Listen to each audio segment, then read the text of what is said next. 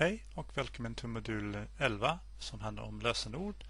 Och det är en liten axplock och motsvarar ungefär kapitel 6 i boken Innocent Code.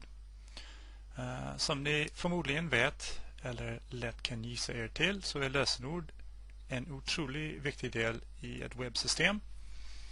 Och uh, man kan säga att det är den kända sätt för alla vet att uh, om man kan ett lösenord och ett användarnamn så kommer man åt systemet Eh, oavsett hur bra man har byggt sin säkerhet. Man har skapat systemet och man sköter SQL inject och man sköter cross-site skipping och alla de här kända eh, metoder för att attackera en sajt. Man har varit väldigt noggrann med att ta emot. Men om man slarvar och tillåter att användaren har väldigt enkla lösenord så kan ändå eh, någon elak eh, person komma åt systemet och göra saker. Och då tänkte jag nämna eh, lite kort några tumregler för lösenord, hur man ska tänka för att, så att man kan eh, ha och använda bra lösenord om man säger så. De borde vara minst åtta tecken lång. Om de är för korta är det för enkelt att, att gissa sig till dem. För en dator åtminstone. Eh, lösenord ska helst ha siffror, bokstäver självklart, har jag inte skrivit, men även siffror och eller skiljetecken. Med det menar jag punkt, streck, eh, slash, frågetecken, utropstecken, eh, att-tecken, snabel och så vidare. Eh, gärna gemena versaler så att ett stort A och ett litet A är olika lösenord. Och sen ska man aldrig använda ett ord som förekommer i en ordbok och inte ens i främmande språk. Så inte ett ord som finns på franska, italienska, engelska, svenska och så vidare. För då eh, är det väldigt enkelt för en dator att gå igenom dem och gissa sig till eh, ett lösenord. Och sedan, och det här är svårare att bygga in i ett system, men eh, man kan utmana användaren när de skapar konto på era webbsystem att inte använda lättgissade lösenord som telefonnummer, bilregistreringsnummer, namn på vänner, släkt, husdjur, Eh, och så vidare eh, på städer och bilar och allt sånt. Eh, eller datorn. Undviker de här som är kopplade direkt till människan som är lätt för någon utomstående att gissa sig till. Eh, och sen i systemet som man bygger igen att de ändrar lösenord då och då lite regelbundet för att försvåra eh, för hackningsförsök på lösenordet. Och sen inte riktiga ord baklänges. För det kan de snabbt också en dator göra. Att den kollar alla ord i en ordbok framlänges och sen kollar dem baklänges också. Så här är några tumregler. Det finns några till, men här är, om du följer alla dessa så har du bra lösenord. Och som sagt, valet av lösenord är fullständigt avgörande för ett system.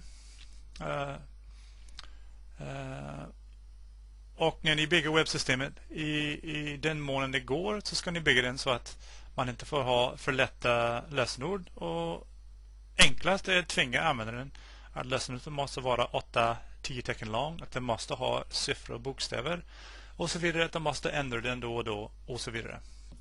Väldigt bra regel.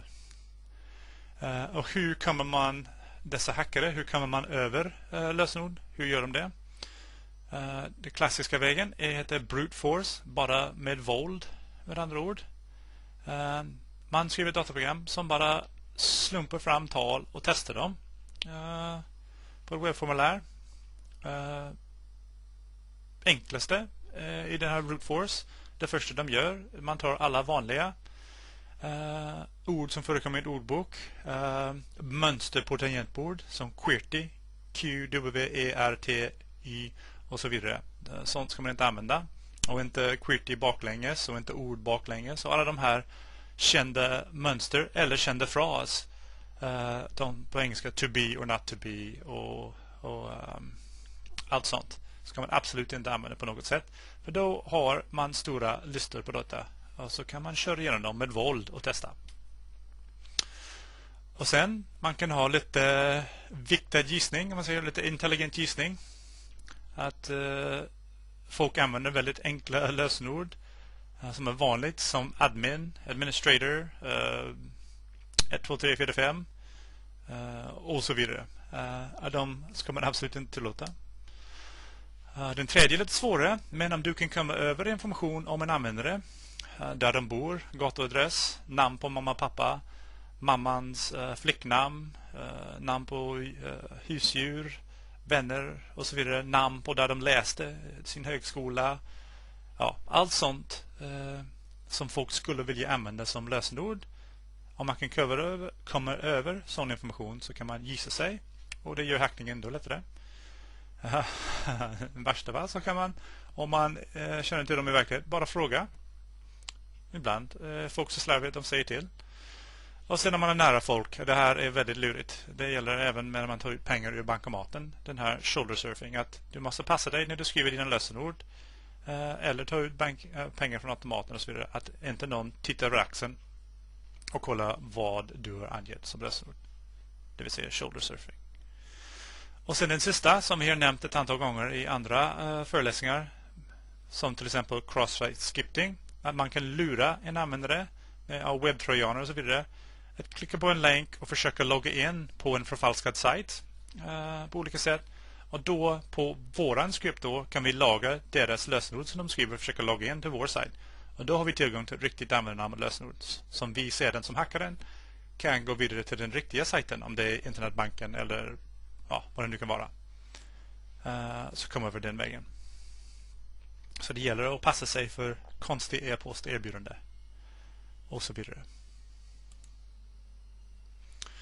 Uh, Kruxet är förstås att lösenord används av ja, i stort sett alla webbsystem uh, för autentiseringen. När vi säger eh, man måste ange sitt användarnamn och lösenord för att kunna komma åt systemet. Och du som webbutvecklare, du ska aldrig lagra dessa lösenord i klartext. Lägger dem inte i en cookie eh, på klienten och så vidare. Och du ska alltid eh, använda hasherna, det vill säga du krypterar dem på något sätt. Eh, och när du krypterar, det kan kanske vara lockande att du själv ska hitta på en liten krypteringsalgoritm och tro att den är bättre. Uh, till exempel du ska eh, eh, uh, gör siffror till bokstäver och du slänger till lite frågetecken och ja, du på något sätt hittar på lite grej när du tar deras lösenord och du krypterar den till en annan sträng och du tycker det är unikt. Och rådet är att inte göra så och använda uh, de riktiga som finns uh, uh, krypteringsalgoritmer. Eh, och när du bygger systemet så ska du inte bygga den utifrån att lösenord i sig själva är unika. För tänk om jag skulle skapa ett konto på Gmail till exempel. Så skriver jag mitt namn och jag skriver att lösenord ska vara Will. Och så säger den nej, det lösenordet är redan upptagen. Så kan man aldrig göra. Eftersom då vet jag att det är någon uh, konto som har Will som lösenord. Då kan jag bara gå igenom alla konton. Försöka logga in, gissa mig ett användarnamn. Och uh, uh, försöka hitta det kontot som har will som lösenord. Och det som ska vara unikt är att uh, kombinationen av användarnamn och lösenordet, det vill säga just mitt användarnamn will at gmail.com är kopplat till lösen will eller så vidare. Uh, och sedan kan du även använda den här kombinationen, den här strängen som salting, det vill säga att använda det som frö eh, för krypteringsalgoritm eh, för att få den att vara svårare att hacka sen. Eh, och krypteringen som vi har nämnt ett antal gånger är ett sätt att omvandla eh, klara strängar till skyddade strängar. Och det finns många olika MD5, SHA-1, eh, Eh, Caesar-skift eh, och så vidare. Caesar-skiffer. Eh, massa klassiska. De ska man alltid använda, som jag har redan nämnt. De är existerande och inte hitta på egna. Men kryptera ska ni. Och sen lite snabbt, de typer av krypteringar man har. Det finns två stora undertyper. Du har symmetrisk och asymmetrisk. Symmetrisk kryptering. Eh, då har du ett meddelande som krypteras med en hemlig nyckel. Och den här nyckeln används för båda kryptera och dekryptera eh, meddelandet. Eh, det som blir svårt med det symmetriska är att kunna dela med sig den här nyckeln. För du måste dela den på något checksätt. Du kan inte mejla den och så vidare. Då, då ökar risken att någon annan kommer över den. Men uh, Uh, den fungerar bra så länge du kan fördela nyckeln på ett säkert sätt. Eh, men förutom symmetrisk så finns det asymmetrisk. Och då använder sig av två olika nycklar. En som är hemlig och du har själv eh, kopplat till din person. Och en som är publik att alla kan ta del av. Du kan lägga ut det på nätet och så vidare. Den hemliga nyckeln används för att dekryptera meddelandet och den publika används för att kryptera. Och då har man ett asymmetriskt system. Och här ser vi lite bilder hur det funkar. I symmetrisk kryptering. Du har klara ja, meddelandet i klartext.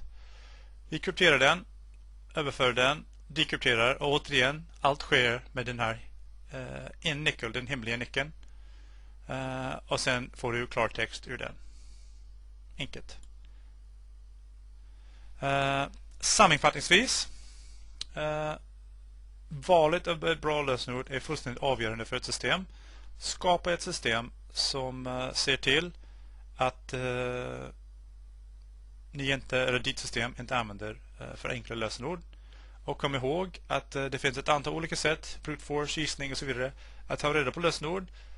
Och det krävs bara ett. Och det är det som är problemet. Att eh, någon som vill komma åt ditt system behöver bara komma över ett användarnamn och lösenord. Då är de inne. Eh, så använd bra lösenord och utnyttja de existerande krypteringsalgoritmer och metoder. Så att du inte lagar eh, ett lösenord i klartext någon gång. Hej så länge.